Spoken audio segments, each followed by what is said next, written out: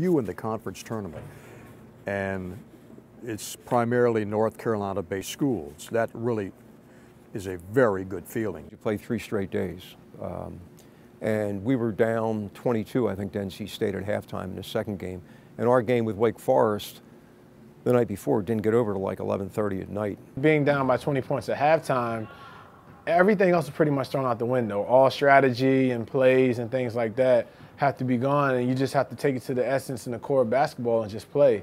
So I remember in halftime, you know, the coach is saying someone just needs to step up. He made everything. Um, he played good defense. He just uh, did everything he could to help us win the game. We chipped the lead down from 20 and it started getting to 10 and under 10, and that's when we knew that we had an opportunity to win this ball game.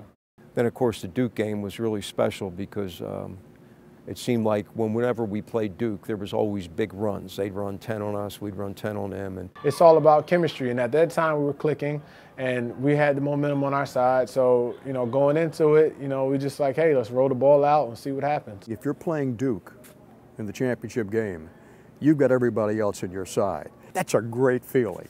I was so locked in and zoned into the game and possession by possession that, you know, every bounce of the ball was in like slow motion. Mike Grinnon, who was the unofficial mayor of College Park at that time, comes up and hits a couple of free throws to help us get that win. That was very gratifying. I get asked about this ACC tournament for years and years, you know. I just happen to be clicking on offense, you know, during those games. But it's, it's a collective effort from the entire team. It was not just all me.